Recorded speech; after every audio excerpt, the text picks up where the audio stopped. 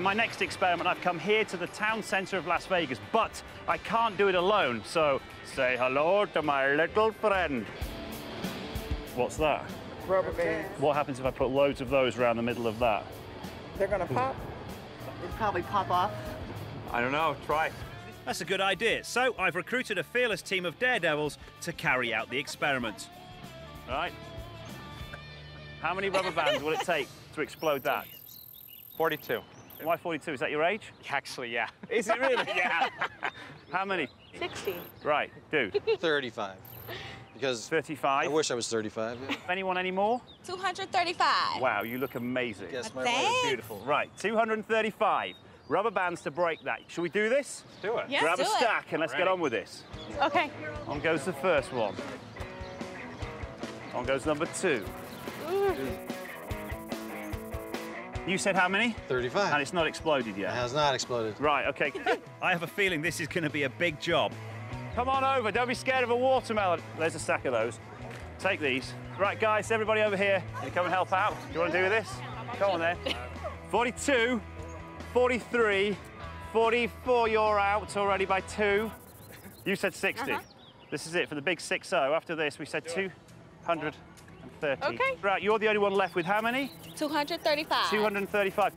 100.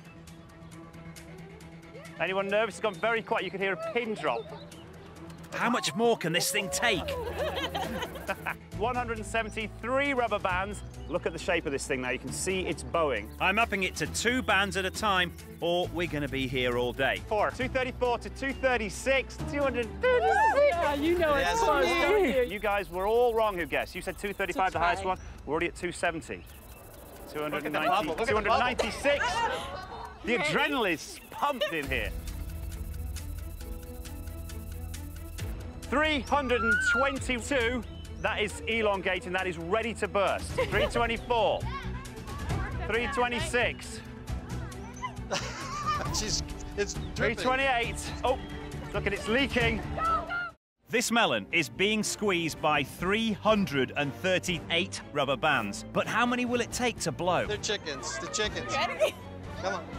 It's like the alien pod. That's like the alien pod. Ah! Yes! Look at right down. 340 rubber bands, one watermelon. So the closest answer was 235. The thing about rubber bands is when you stretch one out like that, you're actually charging it up with energy. That now possesses energy, okay? You've put energy into that.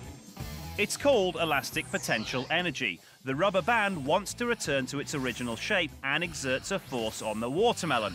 Therefore, the more rubber bands, the more elastic potential energy squeezing the watermelon. Eventually, you get to a point whereby there are just too many rubber bands, watermelon versus rubber bands, and rubber bands win. All that elastic potential energy is released, squashing the watermelon. Come on. What's it called? What's it called? Elastic potential energy. Give him a round of applause, please. I love taking science to the streets.